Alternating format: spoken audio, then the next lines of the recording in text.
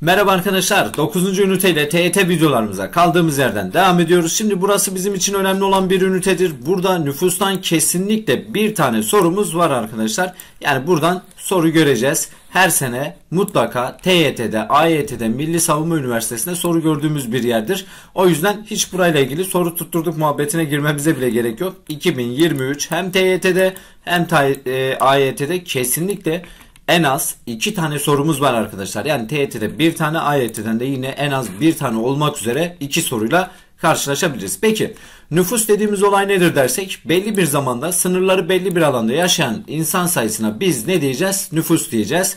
Nüfusu inceleyen bilim dalı nedir dersek şöyle biraz doğa ve insanı hatırlamanız lazım. Oraya da demografya bilimi diyeceğiz. Yani nüfusu inceleyen bilim dalı demografyadır. Sınırları belli bir alanda yaşayan insan sayısına biz ne diyormuşuz? Nüfus diyoruz. Peki tarihteki şöyle ilk nüfus sayımlarına baktığımız zaman önce milattan önce 3000'li yıllar Çin'de karşımıza gelir.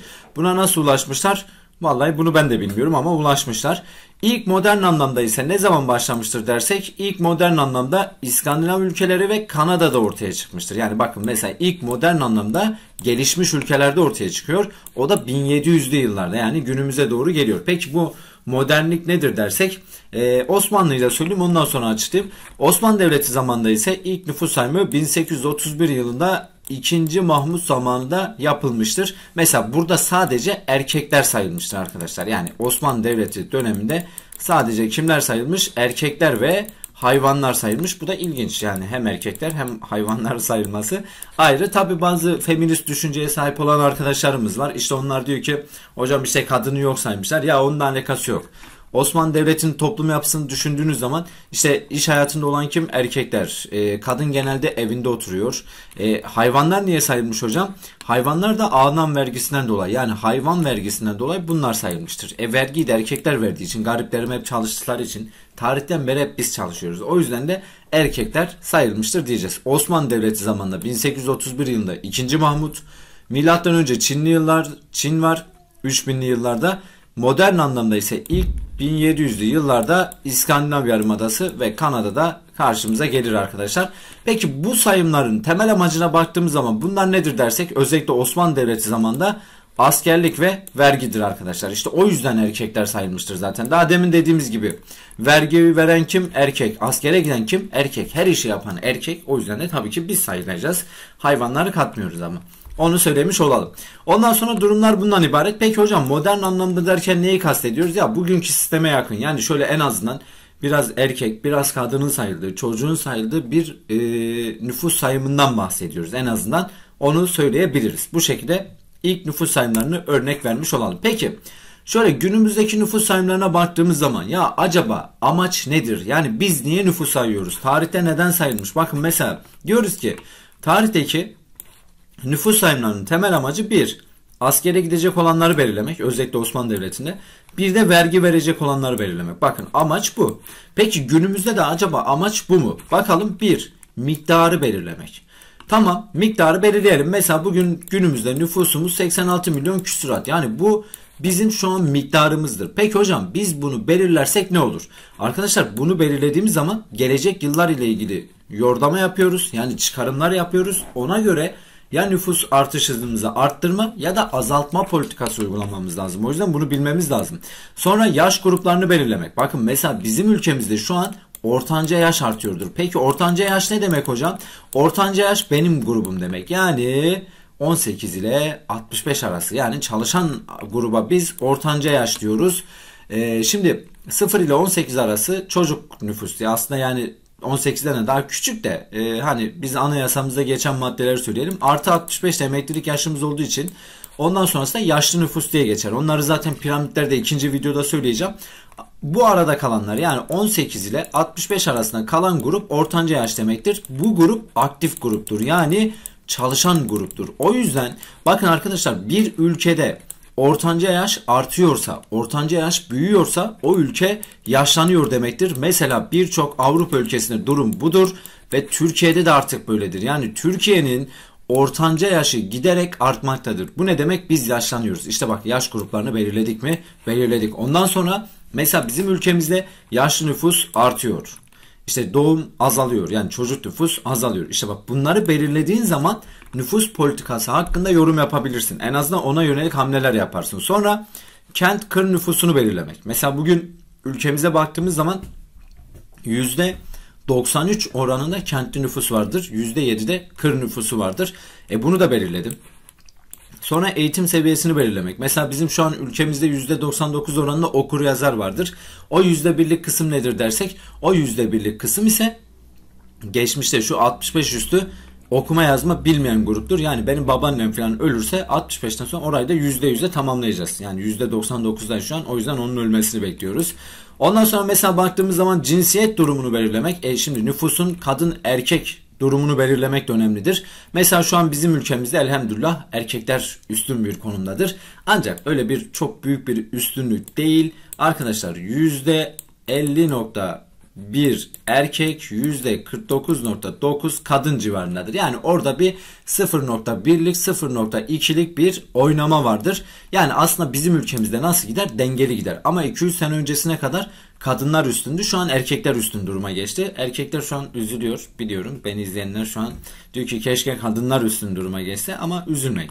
Erkeğin üstün olması iyidir yine.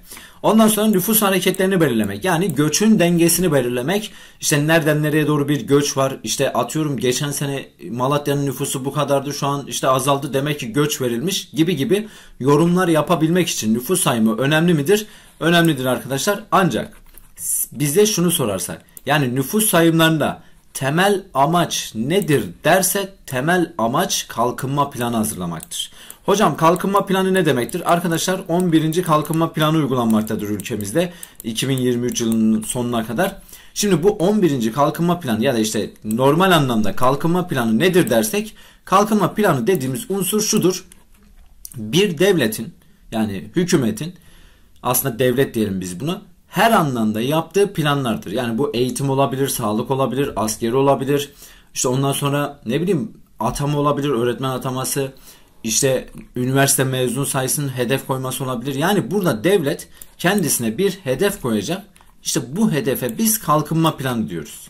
Yani devletin her anlamda sosyo-kültürel, siyasi, işte eğitim, ekonomik her anlamda kendisine yaptığı koyduğu hedefler, hazırladığı planlara biz ne diyoruz? Kalkınma planı diyoruz. Her 5 yılda bir yenilenir. İşte mesela 2023'te yenilenecek. İşte 2028 hedefleri ortaya çıkacak. Yani o aralar kadar olan grubu hedefleri ortaya çıkartacaklar. Onu da söylemiş olalım. Peki şimdi nüfus sayımlarından bahsettik de. Şimdi iki tane nüfus sayım yöntemi var arkadaşlar. Bir de facto bir dejur. Bunların hangisi moderndir dersek def, e, dejur modern yöntemdir. Yani bugün ülkemizde uygulanan yöntem dejur yöntemidir. Peki hocam eski olan nedir dersek eski olan yöntem ise defaktodur. Hocam bunların farkı ne? Arkadaşlar bunlara siz denk gelmediniz ama ben size söyleyeyim. Mesela defaktoya baktığımız zaman bu uygulandı ülkemizde.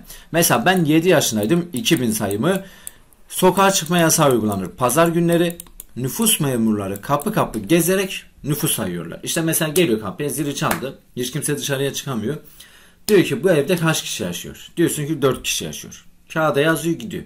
Bakın de facto budur. Sizce bu yöntem güvenli midir, güvensiz midir dersen bana sorarsan güvensizdir. Niye? Çünkü yani çok sağlıklı bir yöntem değil. Kapı kapı dolaşıyorsun. Verileri kağıda yazıyorsun. Ondan sonra onların hepsini toplayacaksın. 81 ilden bahsediyorsun ve evde kaç kişinin yaşadığı adamın ağzından çıkan bilgiye lazım. Mesela e, dayalı. Güneydoğu Anadolu bölgesinde kadınların birçoğu saydırılmamış. Ya da çocuk yeni doğmuş onu adam yerine koymuyor saydırmıyor. O yüzden eksik ve hatalı yöntemdir aslında defakto yöntemi. Peki dejur nedir dersek? Ha bir de defaktoda şunu söyleyeyim. Yani o an nüfustan nerede sayılıyorsan oradasındır. Mesela ben misafirliğe gittim orada kaldım. Pazar günü geldiler ya. Beni orada sayıyorlar. Yani ben artık o evin nüfusuna sahip düzeye geçmiş oluyorum. Yani onlar nüfusuna geçmiş oluyorum. Bu zararlı bir yöntemdir. Ailenin böyle hınzır e, şeyleri sıkıntı yaratabilir. Yani gelir bir anda bizim nüfusumuza geçmesine gerek yok. Biz bize yeteriz. Peki dejur dediğin yöntem nedir dersen dejur modern sistemdir. Mesela bugünkü sistemdir. Bak hiç kapınıza gelen var mı? Yok. Sokağa çıkma yasağı uygulanan var mı? Yani nüfustan dolayı? Yok. İşte dejur budur. Nasıl? Çocuk doğdu. Bilgisayara giriyorsun. Ondan sonra yaşlı öldü ya. Pamuğu tıka gönder gitsin. Her şey bilgisayar ekranı üzerinden. O yüzden dejur modern bir sistemdir ve günümüzde uygulanan sistemdir. Aklınızda bulunsun. O zaman sağlıklı bir yöntem midir dersek evet dejur sağlıklı bir yöntemdir diyeceğiz.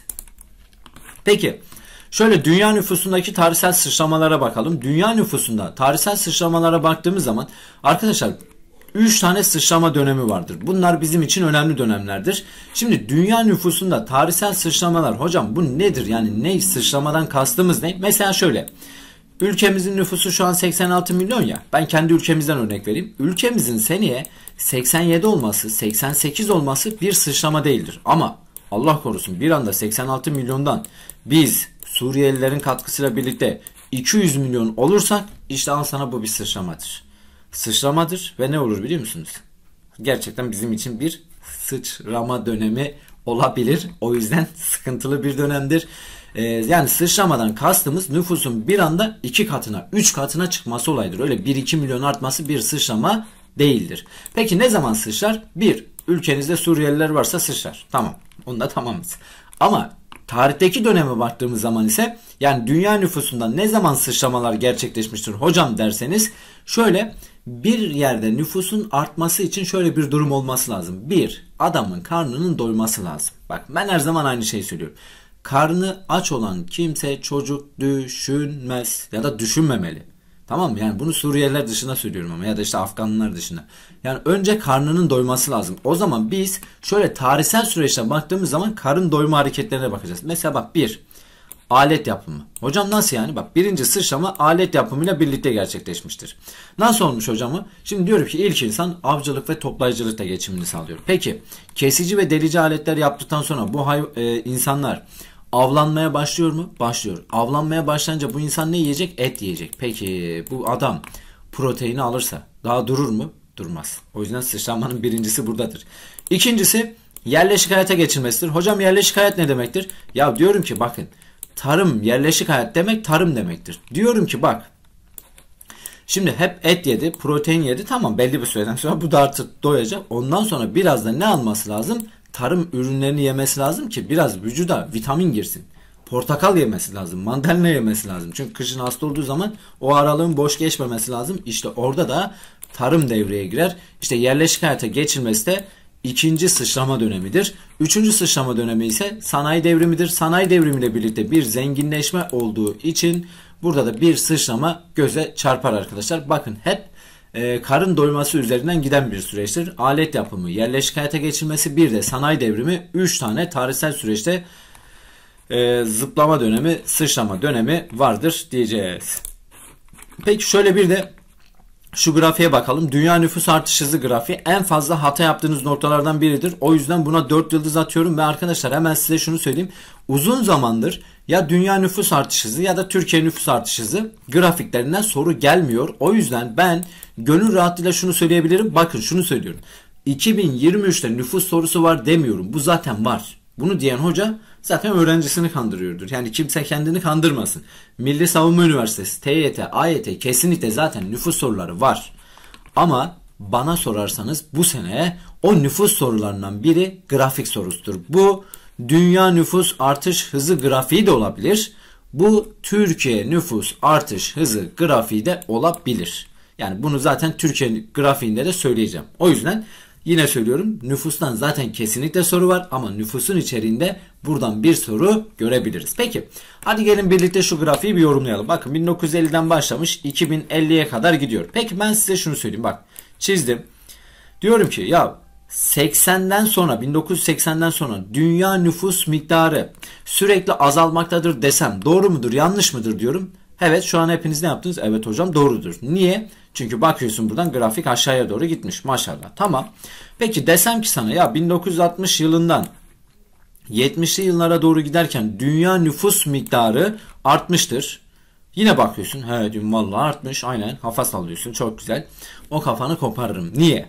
Arkadaşım bak ben sana ne dedim? Miktar dedim bak. Dünya nüfus miktarı dedim. İlk yorumda da ikinci yorumda da. Yani aşağıya doğru azalan da nedir dedik? Dünya nüfus miktarı dedim. Bak benim söylediğim yanlıştır. Niye hocam? E artmış azalmış. Canlar şöyle bir durum var. Bakın bir artış hızı ile miktar aynı şey değildir. Bunu unutmayın. Yani şöyle bir örnek vereyim. Ben hep aynı örneği veriyorum. Ya diyorum ki bakın arkadaşlar sınıfımıza kaç kişilik bir sınıfımız olsun? 18 kişilik bir sınıfımız olsun. Bu sınıfa yarın 5 tane kişi getirdim. Sonra 3 tane getirdim. Sonra 2 tane getirdim. Sonra 7 tane getirdim. Bak şimdi. Arkadaşlar biz kaç kişilik? 18 kişilik. 5 kişi geldi. Kaç olduk? 23 olduk. 3 kişi daha geldi. Kaç olduk? 26 olduk. Çok güzel sayıyoruz. 2 kişi daha getirdik. 28 olduk. 7 kişi daha getirdik. Bunun toplaması biraz zor olacak. 35 kişi olduk. Bak dikkat et. Sınıfa gelen kişi sayısı azaldı ilk başta. Bak 5'ti, 3, 2 diye azaldı. Ama ne oldu? Bak sayı sürekli arttı. Yani demek istediğim şu arkadaşım. Diyorum ki dünya nüfus miktarında da Türkiye nüfus miktarında da hiçbir zaman azalma olmaz. Niye? Miktar sürekli katlana katlana katlana gider. Miktarda hiçbir zaman azalma olmaz. Bak sınıf örneğini unutmuyorsun. Peki hocam hiç mi azalma olmaz? Olur. Bunun dünyada iki tane örneği var. Bir, savaş çıkması lazım. İşte mesela son 2010 Suriye savaşı olur ama onlar sonradan yerine koydular. Gerçekten iyi doldurdular yani. Bu ya bu olması lazım ya da Rusya'da da bu yaşandı bir kere eksiye düştü. Yani dünya nüfus miktarının bir grafikte azalma olduğunu görmesi istiyorsan şu sıfırın altına düşmesi lazım. Yani şu gördüğün kırmızı çizginin gelip sıfırın altına inmesi lazım. İşte o zaman miktar azalır diyebilirsin. Ama ben seni baştan uyarıyorum. Ne Türkiye'de ne dünyada miktar hiçbir zaman azalmaz. Peki burada artan ya da burada azalan nedir dersen artış hızıdır. O zaman biz yorumlarımızı şöyle bir düzenleyelim. Diyelim ki 60 ile 70'li yıllara doğru giderken dünya nüfus artış hızı ne olmuştur? Artmıştır. Bak dikkat et ne artmıştır? Artış hızı. Peki 80'li yıllardan sonra şöyle 2050'li doğru, yıllara doğru giderken dünya nüfus artış hızında bir azalma söz konusudur. Evet. Nereden anladım hocam? Bak ne diyorum? Dünya nüfus artış hızı. Hızda bir azalma var. İşte bunları söyleyebiliriz. Peki kıtalara göre yorum yapabilir miyim? Var mı kıtayla ilgili bir bilgi? Mesela sana şunu diyebilir mi? Seni çeldirmek için şunu söyleyecek. Diyecek ki dünya nüfusunda işte en fazla doğum Afrika kıtasındadır. Tamam. Okey. Ama nerede? Var mı burada? Ya da dünyanın en yoğun nüfuslu ülkesi Hindistan'dır. Arkadaşlar bu bilgi değişti. Çin'di. Ama artık dün yayınlanan bir veriyle artık Hindistan birinci sıraya geldi. Onu da söyleyeyim. Şimdi dinleyip sonra kitaplara bakarsınız Çin filan arkamdan küfür edeceksiniz gerek yok onlara. Şimdi bakın mesela Hindistan'dır. Tamam doğru ama Hindistan'la ilgili bir bilgi var mı? Yok. Yani sen burada sadece genel kaba taslak yorum yapacaksın. Peki hocam hani ben miktarla ilgili yorum yapamıyorum ya. E ben en fazla miktar ya da en az miktarla ilgili de yorum yapamaz mıyım? Onu yaparsın işte. Niye?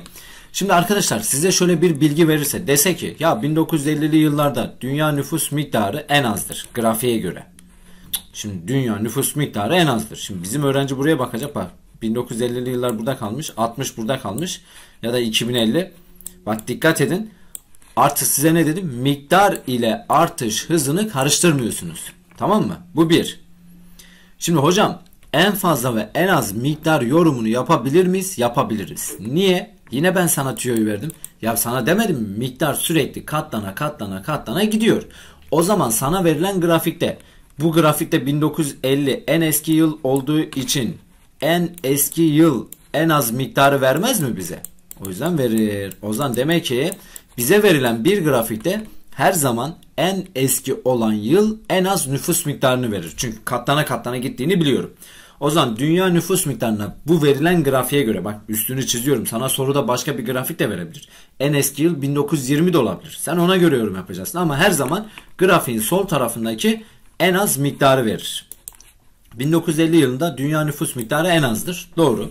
Peki dünya nüfus miktarının en fazla olduğu yıl 2050 yılıdır dersem buna ne diyeceğiz? Evet doğrudur diyeceğiz. Bakın yine söylüyorum. Sakın şuradaki çizgiye bakarak hocam nasıl en fazla burası? Burası çok azalmış. Orada azalan ne? Orada azalan artış hızıdır. Artış hızı. Miktar değildir. Miktar sürekli katlanır. O yüzden de size verilen hangi grafik olursa olsun yıl 2023 de yazabilir. Burada 2050 yazdık. MEP kitabından aldık. 2050 en sağ taraftakine baktığın zaman her zaman en fazla nüfus miktarını verir. Aklınızda bulunsun arkadaşlarım. Tamam burayla ilgili herhalde anlaştığımızı düşünüyorum. Peki dünya nüfusunda dağılışını etkileyen faktörler var. Şöyle bir bakalım. Bir doğal faktörler bir de beşeri faktörler var. Doğal faktörler karşımıza fiziki faktörler diye de gelebilir. Bunu herhalde yaparsınız. ÖSYM'de böyle bir soru beklemiyorum. Yani bu ilkokula sorulur. Aşağıda verilenlerden hangisi nüfusun dağılışını etkileyen doğal faktörlerden biridir ya da beşeri faktörlerden biridir diye. Siz burada doğa ve insanı hatırlayın. Şimdi fiziki faktör ya da doğal faktör diyorsa kendiliğinden oluşması lazım. Mesela nedir? İklim, yeryüzü şekilleri, toprak yapısı, su kaynakları. Mesela ilk insana baktığınız zaman tarihi hatırlayın.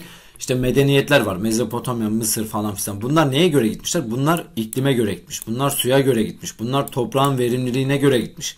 Bunlar genelde düz olan yerleri tercih etmişler. Bak gördün mü? İşte bu kendiliğinden oluşan unsurlar demek ki dünya nüfusunun dağılışını etkiliyor. Bugün çölde yaşamak isteyen var mı aramızda? Ya da kutuplarda yaşamak isteyen. Varsa zaten psikopatsınız demektir. Hemen psikolojik tedavi almanız lazım. O yüzden bak bunlar bizi etkiler. Peki beşeri faktörler, tarihi faktörler etkilidir. Şimdi mesela biz Türkiye işte Anadolu'dayız. Niye biz buradayız? Biz mi seçtik bunu? Yok atalarımız buraya gelmiş buraya yerleşmişler. Biz de devam ediyoruz. İşte o yüzden mesela bu etkiler tarım etkiler. Sanayi etkiler, madencilik, turizm, ulaşım, ticaret bunların hepsi dünya nüfusunda ya da Türkiye nüfusunda etkili olan beşeri unsurlardır. Yani mesela baktığın zaman sanayinin gelişmiş olduğu yerler yoğun nüfuslu yerlerdir. Mesela Adana Çukurova verimli tarım alanıdır, yoğun nüfusludur. Antalya turizm nüfus yazın artar en azından ulaşımın gelişmiş olduğu yerlerde nasıldır? Turizm e, şey nüfus gelişmiştir diyebiliriz. Yani bak demek ki bunlar da etkili. Böyle bir soru gelirse rahatlıkla yapacağınızı düşünüyorum zaten. Şimdi arkadaşlarım bir de nüfus artışları var. Nüfus artışı ilgili karşımıza iki tane kavram gelecek. Bunlardan biri doğal nüfus artışı bir de gerçek nüfus artışı. Hocam bunlar nedir dersek bakın bir Doğal nüfus artışı doğum ile ölüm arasındaki farktır. Bak adı üzerinde zaten bu ne? Bu doğal. Yani kendiliğinden oluşacak. Yani doğal nüfus artışı ben buna 3D diyorum arkadaşlar. Doğal nüfus artışı doğum ile artar. O da nerede fazladır? Doğuda fazladır. Çünkü ülkemizde doğum nerede daha fazladır? Doğuda. Doğu dediğimizde Doğu Anadolu diye algılamayın. Güneydoğu Anadolu'da olur. Sonuçta Doğu yani. 3D tamam mı? Doğal nüfus artışı doğum ile artar. O da doğuda fazladır. Mesela Afrika kıtasında doğum fazla olduğu için doğal nüfus artışı nasıldır? Fazladır. Asya kıtasında nasıldır? Fazladır. Arkadaşlar bir ülkede doğal nüfus artışı fazlaysa unutmuyorsunuz orası nasıl bir ülkedir? Gelişmemiş bir ülkedir. İşte bu tarz sorularla karşınıza gelir. Çıkmış sorular da var. Soru bankalarında da görürsün. Bir ülkede doğal nüfus artışı fazla ise orası gelişmemiştir. Orada sağlık koşulları gelişmemiştir, eğitim gelişmemiştir, nüfusun kalitesi yoktur yani. Ondan sonra yaşlı nüfus azdır. Niye? Çünkü sağlık koşulları gelişmemiş. Doğum nasıldır? Fazladır diyeceğiz. Okuma yazma oranı düşüktür. Kişi başına düşen milli gelir azdır diyeceğiz. İşte bu tarz yorumlar yapabilmeniz lazım. Peki gerçek nüfus artışı nedir dersek bakın doğum ile ölüm arasındaki farklardan artı bir de ne ekliyoruz? Göç ekliyoruz. Yani doğum ile ölüm arasındaki farkı aldım. Bir de buna göçü eklediğim zaman ortaya çıkan gerçek nüfus artışıdır. Bak göç var. Peki diyorum ki ben buna da 3G diyoruz. Gerçek nüfus artışı göç ile artar. O da gelişmiş bir yerdir. Bak gerçek nüfus artışı göç ile artar. O da nasıl bir yerdir? Gelişmiş. Çünkü herkes nereye göç eder? Gelişmiş bir yere göç eder. Yani bugün Suriye'ye göç edebilecek olan var mı? Afganistan'a gidebilecek olan var mı? Yok. Şu an hepimiz nereyi isteriz? Amerika isteriz. Avrupa ülkelerini isteriz. Kanada'yı isteriz. İskandinav Yarımadası'nı isteriz. Rusya'yı isterim mesela. Niye? Daha gelişmiş oldukları için. Oraya gitmek istiyoruz. İşte göç böyledir. O zaman bir yerde ya da bir ülkede gerçek nüfus artışı fazlaysa orası nasıl bir yerdir? gelişmiş bir yerdir. Gelişmiş olan bir yerde doğum oranları nasıldır? Azdır. Yaşlı nüfus nasıldır? Fazladır. Niye? Çünkü sağlık koşulları gelişmiş. Kişi başına düşen milli gelir fazla. Okuma yazma oranı fazla diyebiliriz arkadaşlar. Bu şekilde söyleyelim. Mesela size bir de bunun tablolu örneklerini vereyim. Hemen basitçe. Şuraya doğal nüfus artışı diyeceğim. Bir de gerçek nüfus artışı diyeceğim. Şimdi arkadaşlar bakın. X'te doğal nüfus artışı 13 olsun. Gerçeği 7 olsun. Y'de 5 olsun, gerçeği 27 olsun. Şimdi bakıyorum hocam bunlardan hangisi gelişmiştir? Ya da biz böyle bir yorum yapabilir miyiz? Yapabilirsin. Nasıl yaparsın? Diyorum ki bak 13 kişi doğmuş. Gerçekte en son 7 kişi kalmış. Bak gerçek her zaman son olanı verir bize. Yani böyle bir tablolu soruda gerçek nüfus artışı her zaman bize neyi verecek? Son olanı verecek. 13'ten 7. Abi bu aradakiler ne oldu? Bu arada 5 kişi 6 kişi kayıp. Nereye gitti bunlar? Ya öldüler Yani geberdiler ya da göç ettiler. E, erken yaşta geberiyorsan ya da göç ediyorsan bu ülke gelişmemiştir. O zaman biz şunu diyebilir miyiz? X ülkesi gelişmemiştir. Evet doğru. X ülkesi gelişmemiştir. Daha demin yaptığım yorumları yapabilir misin? Yapabilirsin. Peki Y'ye bakalım. 5 doğmuş. Maşallah 27 kişi olmuşlar. Ne oldu bunlar? He? Bunlar üremişler bildiğin. Ama ne bu üreme değil. Üreme olsaydı doğal nüfus artışı olurdu. 5 27 olmuş. Demek ki dışarıdan ne yapmış? Göç almış. Peki göç alan bir yer nasıl bir yerdir dersek gelişmiş bir yerdir. Y de gelişmiş bir ülkedir diyeceğiz. Mesela Avrupa ülkeleri olur mu? Olur. X Afrika ülkeleri olur mu? Olur. Diğer yorumları yapabilir misin? Yapabilirsin ki bunları zaten daha çok yorumlayacağız. İkinci videoda piramitlerde dikkat edeceğiz. Nüfus basittir. Kelime oyunlarına dikkat edin. Sıkıntı yok. Ondan sonra şu nüfus artışının sonuçlarına bakalım. Nüfus artışının sonuçlarına baktığımız zaman bir olumlu sonuçları var bir de olumsuz sonuçları var. Bak şimdi biz önce basit olandan başlayalım. Olumsuz sonuçlarla başlayalım. Bir doğal kaynaklar azalır. Evet çünkü fazla tüketim olacağı için kaynak azalır.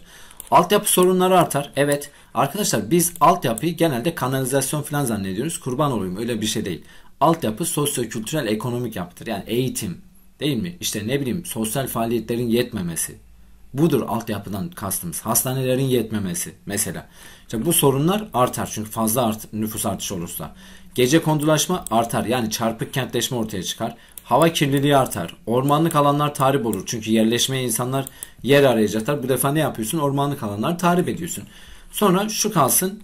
Buna en son bir daha değineceğim. Demografik yatırımlar artar. Hocam demografik yatırımlar artar. Bu ne demek? Şimdi bak bunu şıklara attığı zaman bizim öğrenci bunu olumlu zannediyor arkadaşlar. Demografik yatırımlar artar. Niye olumlu zannediyor? Adam burada yatırım kelimesini görüyor ya. Diyor ki lan diyor yatırım bence diyor bu olumludur. Hayır unutmuyorsunuz bu olumsuz bir yöntemdir arkadaşlar. Neden? Demografik yatırım demek nüfusa yapılan yatırım demek. Demografya neydi? Nüfus bilimiydi. Nüfusa yapılan yatırımın artması devlet için olumsuzdur. Sen bunu devlet gözüyle düşüneceksin. Neden? Şimdi fazla doğum olursa, fazla çocuk olursa hastane yapacak mı? Okul yapacak mı? Park yapacak mı? Bunların hepsinin bir gideri var mı? Var. İşte o yüzden demografik yatırımlar nasıldır? Olumsuzdur. Unutmuyorsunuz. Bir ülkede demografik yatırım fazlaysa orada doğum fazla demektir. O ülkede nasıl bir ülkedir? Gelişmemiş bir ülkedir diyeceğiz. Yine bu tarz yorumlar yaptırırlar. Dikkat edeceksiniz. Demografik yatırımların artması nasıl bir şeymiş? Olumsuz bir durumdur diyoruz. Peki Olumluya bakalım. Olumsuzda tek hata yapacağınız yer burası zaten. Şu yatırım kelimesini görünce aldanmayın bize yeterli. Peki devam ediyorum. Olumluda ne vardır dersek bir savunma ihtiyacı sağlanır yani askerlik. Evet yani ben mesela 2019'da gittim. Şırnak'ta Hakkari'de terörle mücadelede büyük destekler sağladım devletime. Nedir işte bu? Savunma ihtiyacını sağladım. Devlet benden yararlandı mı? Evet. O zaman bu olumlu mudur? Olumludur. Vergi gelirleri artar. Evet. Hepimiz vergi veriyoruz. Sen şunu diyebilirsin şu an hocam ben vergi vermiyorum ki. Vermiyorsun. Git markete bir tane kek al KDV vergisi ödüyorsun. Yani nüfusun artması devlete olumlu katkıları da vardır. Tamam mı? Kek az yiyin az. Sonra mal ve hizmete olan talep artar. Bakın mal ve hizmete olan talep artar. Şimdi nedir? Devlet bir şey üretiyor. Mesela günümüzde şu an devletimiz ne üretti? TOK denilen milli aracımızı üretti. Bak buna şu an talep yoğun. İşte nüfusumuz fazla olduğu için eğer nüfusumuz az olsaydı talep olmazdı. O zaman devletin ürettiği de elinde kalır mıydı? Kalırdı. O yüzden bu olumludur. Yine tehlikeli olan şu işte demografik yatırımlarla birlikte en tehlikeli olan bu. Şimdi bak şimdi diyoruz ki işçi ücretleri ucuzlar. Şimdi işçi ücretleri ucuzlar dediğimiz zaman bak burası tehlikeli bir de şu tehlikeliydi. Öğrenci diyor ki bak şimdi şıklara zaten ÖSYM sorduğu zaman bu ikisini sorar. Yani bir şıkta bu yer alır diğer şıkta da bu yer alır. Şimdi adam öğrenci okuyor. Diyor ki işçi ücretleri ucuzlar. Lan diyor şimdi asgari ücret 8500. E 4000'e çalışmam. Bu diyor olumsuz bir şey. Evet doğru bu senin için olumsuz bir şeydir ama sen bu kısmı ne gözüyle düşüneceksin? Sen bu kısmı arkadaşım devlet gözüyle düşüneceksin. Yani sen öyle oturduğun yerde kendin yorum yapmayacaksın. Bugünü şöyle kabul et. Bu soruyla karşılaştığın zaman bugün 23 Nisan tamam mı? Sen Cumhurbaşkanlığı koltuğuna oturmuşsun ABL'tirisin. Sınav anında. O moda da gir böyle kalem elinden bırak. Halkı selamlarsın. Sonra sınavın iptal olur falan. Onlara girmeyin tabi. Şöyle oturuyorsun. Tamam oturdum. Şimdi düşüneceksin. İşçi ücretleri ucuzlar. Sen devletsin, işverensin. Yani senin de çalıştığın adamlar var. 8500'e çalıştırmak mı daha iyi? 4000'e çalıştırmak mı daha iyi? Hangisi daha iyi? 4000'e çalıştırmak daha iyi. Hiç öyle oturduğunuz yerde ya yazık onlar nasıl geçinecek falan demeyin. Patron olduğunuz zaman işler değişir. Her zaman en ucuza çalıştırmak istersin. O yüzden de işçi ücretlerinin ucuzlaması olumludur. Aklınızda bulunsun. Anlaştık mı? İşçi ücretleri ucuzlar nasıldır? Olumludur. Peki demografik yatırımların artması yine söylüyorum şuradaki yatırım kelimesi sizi çeldirmesin. Yatırım demek olumsuzdur çünkü nüfusa yapılan yatırım demektir. Herhalde burada da anlaştık. Sonra şu kıtalara göre nüfusun dağılışı var. Şöyle bir baktığınız zaman size bunu verip yorumlatabilirler. En fazla nüfus yoğunluğunun olduğu yer Asya'dır der. Doğrudur. En az Avustralya'dır der. Doğrudur. Nereden anladın hocam? E baksana yavrum %60, %0.5. Afrika %15'te, Avrupa %10'da, Amerikalar %14.5'da, Kuzey ve Güney Amerika. Bu şekilde basitçe yorumlar isteyebilir. Yani işte mesela kıtalara göre nüfusun dağılışına baktığımız zaman e, kıtada Afrika kıtası Avrupa kıtasına bir, göre bir adım öndedir. E doğru nüfusun dağılışında. Yani bu tarz yorumlar yapmanız lazım. Anlaştık. Bunları söyleyeceğiz. Peki sonra devam edelim. Dünyada sık nüfuslu yerler bir de seyrek nüfuslu yerleri vererek ondan sonra ikinci videomuzda da nüfus piramitlerini anlatacağız. Şimdi bu bizim için önemli mi hocam? Bize soru soruyorlar mı? Soruyorlar. Size genelde dünya haritasını işaretleyip bunun gibi dolaylı doğrudan sorular sorabilirler. Şimdi önce şunu söyleyelim. Sık nüfuslu olan yerler genelde nasıl yerlerdir dersek arkadaşlar buralar gelişmiş yerlerdir. Yani buralarda sanayi gelişmiştir refah düzeyi yüksektir. O yüzden nüfus yoğundur. Mesela bakın Amerika kıtasına başlayalım. Amerika'nın doğusu ve batısı yani burası bildiğiniz Amerika. Amerika'nın doğusu ve batısı yoğun nüfusludur. Özellikle de neresi? Doğusu. Bu kısım yoğun nüfusludur. Başkenti de buradadır zaten. Genelde sanayileşmiş yerlerde buradadır. Amerika'nın doğusunda nüfus fazla. Peki Güney Amerika'ya geldiğimiz zaman öyle çok tabii ki bir Amerikan doğusu gibi olmasa da Brezilya kıyıları yine Brezilya'nın olduğu yer fazla nüfuslanmış mıdır? Evet Güney Amerika'ya göre fazla nüfuslanmıştır. Burada en tehlikeli olan şudur arkadaşlar. Özellikle şuna dikkat ediyorsunuz. Nijerya bakın ekvatorun hemen üzerinde Afrika kıtasının en gelişmiş ülkesidir.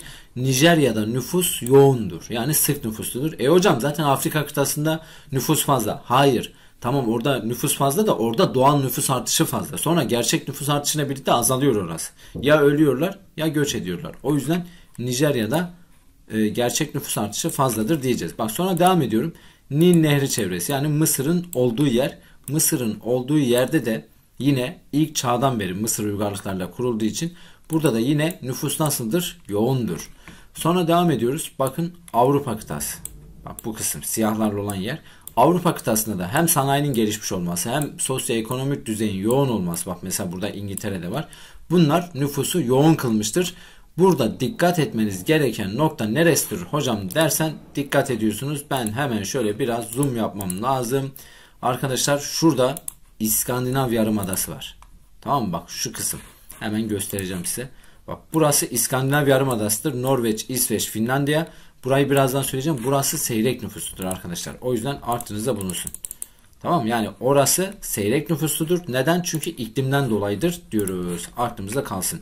Sonra geldim Mezopotamya uygarlığına yani Fırat ve Dicle çevresinde de yine Türkiye'nin arasında bulunduğu yerde nüfus yoğunluğu nasıldır? Fazladır. Ona dikkat edeceğiz. Muson Asyası'na doğru gittiğimiz zaman Hindistan ve Çin hattında yine nüfus yoğunluğu fazladır. Hindistan ve Çin dünyanın en kalabalık iki ülkesi. Artık birinci sırada hangisi var? Hindistan var zaten birinci sırada. Çin de ikinci sıradadır. Çin zaten yine e, sanayileşmiş yerleri var o yüzden ama Hindistan'da oldu bitti hep nüfus fazla. Sonra gelişen ülkeler arasında hangisidir dersek Japonya. Yine nüfus yoğunluğu fazladır. Gelişmiş olduğu için. Ondan sonra bir de Avustralya'nın doğusu. Arkadaşlar dikkat edin. Avustralya'nın ortasını işaretleyip size burası sık nüfusludur derse yanlıştır. Burası çöldür. O yüzden sık nüfuslu değildir. Sadece doğusunu söylüyoruz. Anlaştık çünkü bazen bazı hocalarımız öyle anlatıyor maalesef. Onlara dikkat edeceğiz. Şunu bir sayfa. Şimdi devam ediyoruz. Bakın şimdi bir de seyrek nüfuslu yerler var. Seyrek nüfuslu yerlere baktığımız zaman bunların size sebeplerini sorar. Bunlara dikkat edeceksiniz. Bak bir şöyle ekvatoru çiziyorum. Bak burada Amazon ve Kongo var. Amazon ve Kongo kelimesini duyduğunuz zaman bunlar zaten ekvatorda demektir. Ekvatoral iklim görülür. Arkadaşlar ekvatoral iklim yıl boyunca sıcak, yıl boyunca nemli olduğu için yani yağışlı olduğu için Buralarda nüfus nasıldır? Seyrektir. Tamam mı? Yani size ekvatorda neden nüfus seyrektir derse ki milli savunma çıkmış sınav sorusudur. Ya da işte Amazon Kongo'da ya da mesela şöyle işaretliyordu ki bir numaralı yerde nüfusun seyrek olmasında işte yıl boyunca sıcak olması ve yıl boyunca nemli olması etkilidir. Doğru. Anladım yani bunun sebeplerini bilmeniz lazım. Seyrek nüfus olmasının sebeplerini. Amazon ve Kongo'da böyle bir durum var. Yıl boyunca sıcak, yıl boyunca nemli. Peki Avustralya'nın ortasına geldiğimiz zaman şöyle götürebilirsiniz kıyıya doğru. Buralarda neden nüfus seyrektir dersek iklimden dolayıdır. Yani çöl olduğu için burası da seyrektir. Ama bak mesela daha deminki haritada gördük. Bu kısım nasıldı? Burası yoğun nüfusluydu. Yani Avustralya'nın doğusunda sanayi geliştiği için yoğun nüfuslu diyebiliriz. Ama ortası şöyle batıya doğru gittiğin zaman çölden dolayı, iklimden dolayı nüfus seyrektir. Bak yine Kuzey Afrika, Büyük Sahra Çölü yine nasıldır? Seyrektir. Ama bak mesela şurada Mısır vardı. Daha demin haritada gördük. Mısır'ın olduğu yer yoğun nüfusludur. Ama sadece çölün olduğu yer iklimden dolayı nasıldır? Seyrek nüfusludur. Sonra kutuplar zaten söylememize gerek yok. Buralarda iklimden dolayı seyrek nüfusludur. Çok soğuk olduğu için. Burada bir de yer şekillerine bağlı olarak Hindistan'ın olduğu yer. Himalaya dağları var. Hindistan yoğun nüfuslu ama onun arkasında Nepal'e doğru giderken buralar seyrek nüfusludur. Nedeni nedir dersek yer şekilleridir. O zaman bu şekilde toplayabiliriz. Mesela Şirin'in olduğu yeri de işaretler. Der ki burada Ant dağları var. Bunu zaten önceki derslerde söylemiştik. İşte burada nüfusun seyrek olmasının nedeni yer şekilleridir. Doğru. Ant dağları. Yani senin yeri bilmen lazım. Mesela daha demin söyledik. Burada işaretlememişiz ama bakın. Şurası. İskandinav Yarımadası. Normalde gelişmiş ülkelerdir. Ama soğuk bir iklime sahip olduğu için Norveç, İsveç, Finlandiya buralar nasıldır? Seyrek nüfusludur diyeceğiz arkadaşlar. Anlaştık. Bunları da söyleyebiliriz. Aklımızda kalsın. Evet bu dersimizi burada bitirelim. İkinci videomuzda nüfus piramitlerini yorumlayacağız. Dünya nüfusunu bitireceğiz. Ondan sonra bir de Türkiye'nin nüfusuyla ilgili bilgi vereceğiz arkadaşlar. Kendinize iyi bakın. Görüşmek üzere.